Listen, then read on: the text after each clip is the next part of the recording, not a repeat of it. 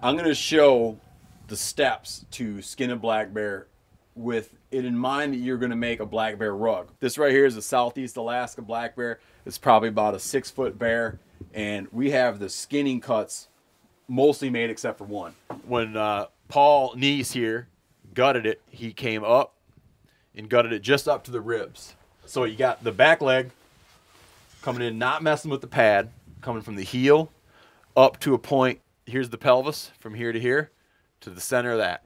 So other leg, same exact way as the first. Heel up should meet the bear at the same point right there.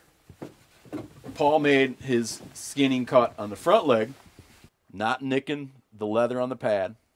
Came up right across the point of the elbow, like on a human to be right here, through the armpit. So through the thin hair on the armpit, up to the brisket. Now, the last part of the cut, just to demonstrate kind of how it looks and how it works, Paul's going to do the last skinning cut here so you see how someone goes about making a skinning cut on a bear. Yeah, and he's he's a little stiff, so I'm gonna I'm gonna just start right here, and I'm gonna run it right down through here. The one thing when when you do these cuts is you definitely you want to come up from underneath the hide. You you want the blade to be running under the hide, coming up, and that way you minimize how much of this hair you're cutting off.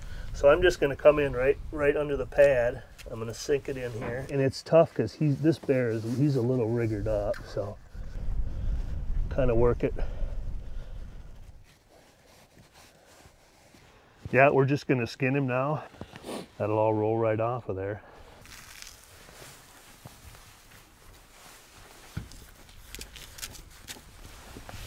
Very slowly peeling this thing back, like you're slowly peeling back the sheet on the bed.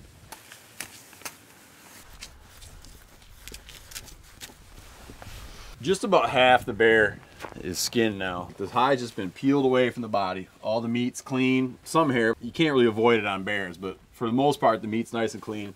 Skin the arm out, and we're down now. The pad hasn't been messed with, and we're down to the wrist joint. We just want to feel for where it's bending, and then start cutting. Keep prying because you'll pop a lot of stuff. And at this point, we got all the legs skinned. We removed the bulk of the meat. We got the four quarters off, bagged up, and now we are getting ready to work on skinning the head. We're not going to cut any further up here. We've skinned the lips back and cut through the gums and got that much skinned out. You can't go any farther because the, the skin doesn't want to stretch around the skull. So at that point, and we're skinning this part forward. So we're just skinning up to the point right behind the ears. Then we'll sever the head. And then you can stand the head up on its nose and, and finish the skinning job on the head. You can see now we have the bear all the way done. It's a nice job, no nicks. Again, pads left intact, fairly clean. For now, you want to fold it like this.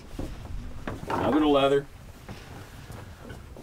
Paul wants to make sure that the head stays good. So rather than insulating the head inside the hide, he likes to roll it and have the head on the outside so that freezes first.